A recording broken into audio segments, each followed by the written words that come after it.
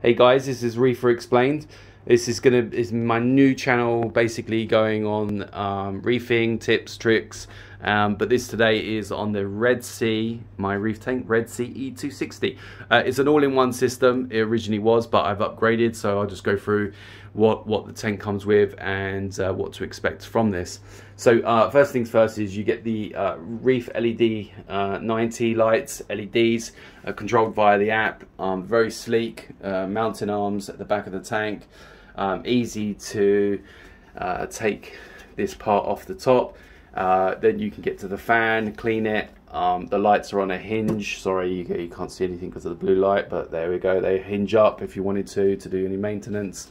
Um, and uh, you've got this black panel here on the tank. It's just basically it's a hydrofiltration.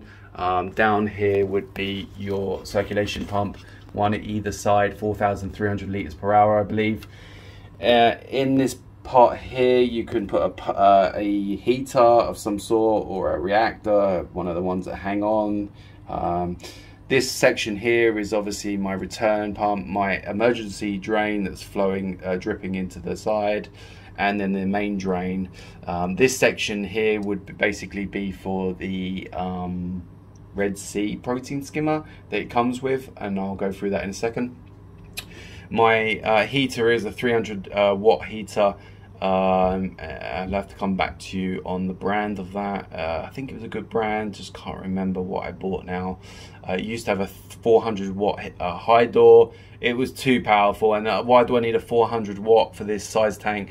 It's uh, 260 liters or 69 gallons, so I downgraded to a 300 watt, something newer um, because the old one was a year and a half, and uh, I just don't want to take the chances. I just replace it now every year. It's just easier that way for 30, 40 pounds. Why not? This section here would be the um, basket media that they give you. Uh, it's just trash. I just just uh, put that in the cupboard now because um, you know you can put sponges, some carbon, uh, some filter floss in there. I upgraded because I was having uh, some problems with the filtration side of it, so I've done the sump now other circulation pump here and you can just uh, put this back up. Um, we're going to go to the um, protein skimmer. Guys, this is the Red Sea um, protein skimmer that it comes with. Um, it's got a collection cup. Um, the main problems with this uh, whole whole uh, protein skimmer the the cup is smoked so you can't see the level of the foam inside the main uh, part here so that's pointless. The gate is really hard to control. You have to push it up and down. It's it's judgmental. It's uh, noisy. It's heavy. So to get this box out when you want to do maintenance on the pinwheel of the protein skimmer, uh, it's just pointless. And the cable here got stripped because it got caught between when I was trying to do maintenance. So that came out. So there's my two cents on that. Trash. Okay guys, working my way down. You don't get this with the tank, you have to buy it as an additional add-on, which kind of felt that was a bit uh, cheeky. So yeah, you don't get the screen top uh, covered. You have to buy this extra. It's about 40, 50 pounds, I believe. Uh, you put it together yourself. Um, but there we go. There's that side of it. The glass is, uh, I believe, nine millimeters thick, super clear, uh, with black um, silicone and the black background um, is obviously hiding the weir um, so um, it's nice because you, you don't see any of the algae being attached to the glass or anything like that. All the filtration's hidden behind there. Um, the the pumps, uh, let me just turn this light off, sorry guys. Uh, the the uh, nozzles, you could they're redirectional so you can uh, direct them wherever you need to go to. Um, it's a great tank, you know, um, lots of aquascape, lots of uh, ton of fun. You're not going to get any major big, you know, fish in here. Um, just got a couple of clownfish and a uh, radiant wrasse. Um, so um, going uh, underneath, um, what you get with the all-in-one system is you get this control panel here, and this is going to be your protein skimmer that I've just shown you that I didn't like. Uh, there's the on and off. Um, these are all kind of plastic plugged, so they're, you know, if you got wet hands, it's great. Uh, circulation pumps one and two, I've marked them up and still using them. Reactor I've put in here. And these are spare. This is the heater you could plug in here if you wanted to. I haven't done that. And the lighting system that's on I've got already originally uh, installed. This is the uh, um, extension plug that you get with it. So basically they're two prong and you can just put them in and then uh, accord them to the, there. Uh, the sump um, here just going to talk you through the piping situation. You get all the pipes with it and it's really easy to install. Just make sure when you install it don't screw it too tight. Um, make sure that it's re really um, sealed properly and you've put the right pipe in the right place don't uh, rush this um, take your time. And uh, this is your ball valve um, and for the main drain. It's really fin finicky. Um, if you know about a lot more about um, reefing or you know someone maybe change that out. It, once you've got it dialed in it's fine. It's working now but it took me a, a few months to get this uh, rolling.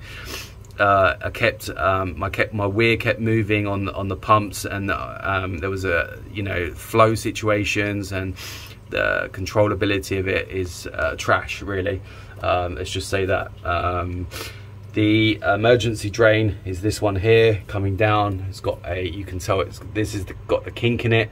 It's a smaller tube slightly. The emerge, the, the return pump um, is the green one here. This one here. And this is just connected all the way down to my uh, Jacobs 4000 DC controllable uh, return pump set at 50%. That works really well for me. Um, the uh, sump where like kind of overflow comes into this main baffle here. Let's just come back a bit. Uh, into these nylon filter socks the 225s um, and I've got floss in there. Um, and I just remove that out and obviously clean these socks out every three days. Uh, just keeps the system nice and clean um, the sump design as well, there's a couple of things, is that the height of the water is only 46 litres, I believe. I'm not sure. This uh, here, for instance, I had a, a Bubble Magus Curve 7 in here and uh, no, it didn't work. Uh, the Bubble Magus Curve 7 has to be in 9 inches of water, I believe, around here, 9 to 11. Uh, this was running, I think, around 7.5, 8. And so I had to get something else, which was the Deltec 400i DC um, and uh, this is working beautiful because it's between 15 and 22 centimeters so it meets that margin perfectly well. Uh, I've got some bio bio media in here. Bio media make sure it's after your filtration so your filter socks and maybe your protein skimmer.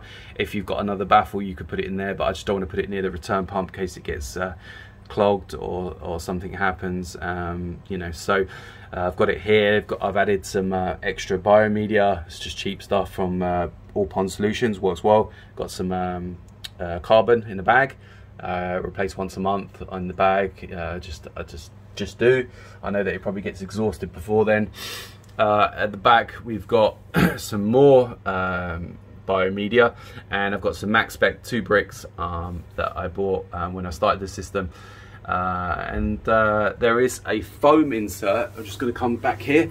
A foam insert that's a black um, chorus uh, it's like stops the bubbles and stops all the uh, detritus going into that main part there okay? Um, the blue light there is my ATO that I'm using. I'm not using the stock version which is the white ball valve here. Um, just didn't want to use it um, so this is my blue ATO light. Um, it is Auto Aqua, the mini one, works really well. Um, what else can I say? Got a fan on here. It's connected. Um, it's just an uh, again an All Pond Solution six-speed fan, uh, relatively cheap. It's plugged into my um, temperature controller. So it's currently at 78.8. Um, target is 79. The heater kicks on at 78 clicks off at 79 and then it just runs down. When it gets to 78 goes back on again. Once it gets to 80 however the fan will kick on. And inside the sump here it does a great job of cooling. When the doors are closed uh, the, the evaporation cooling helps. Um, but that's not what I've got all on this system to help with that problem. Uh, as you know sometimes heat can be a real problem and uh, we'll run through that. Um, here you've got UV sterilizer plugged in. It's uh, Eheim 350, um, which is just up here. Uh, I can go through this a little bit more in depth and detail. Got some uh, wireless uh, Wi-Fi plugs on here on my ATO so I can turn it off when I'm doing a water change. Same with my return pump. um, and um, I've got a uh, H2O Guardian on my protein skimmer um, and uh, that's on there because uh, if I need if it ever gets full or if I'm away this will just automatically shut off and it won't overflow it has got a built-in overflow uh, system on this uh, Deltec which is uh, genius uh, in case the water level was too high in the sump for some reason uh, the water would go into that pipe there, that little clear pipe, and shut off the bubbles, not allowing the crud here to overflow into the sump.